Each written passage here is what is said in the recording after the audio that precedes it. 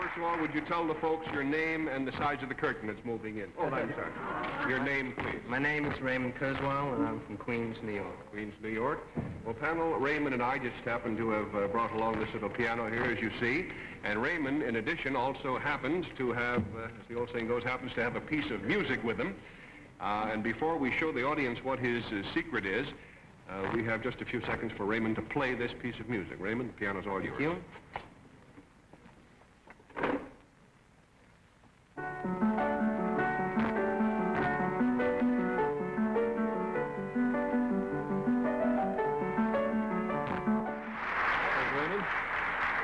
Very nicely played, and now uh, your performance, of course, leads into your secret, so if you'll whisper it to me, we'll let everybody at home know what's up. Uh, well, that's... That certainly deserves applause, but, uh...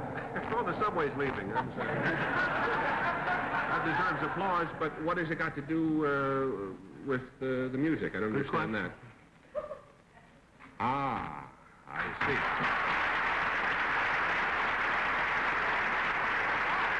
Panel, Raymond's secret concerns something that he did, and uh, we'll start the game this time with Bess Myerson. Raymond, that's a very unlikely sounding piece of music. Am I being supercritical? No? Did you compose it? No, I didn't. Oh. Um, did you, however, use, were there some kind of formulas or letters or something unusual used to compose, to make up the notes of this piece? Uh, you, you could say that, I guess. Well, for example, would the notes spell out a name or would they be a mathematical Um, formula or anything like that? Not spell out a name, nothing like that, no. But there are very... Twenty dollars down, sixty to go. Henry? Was that thing written by a computer? Ah,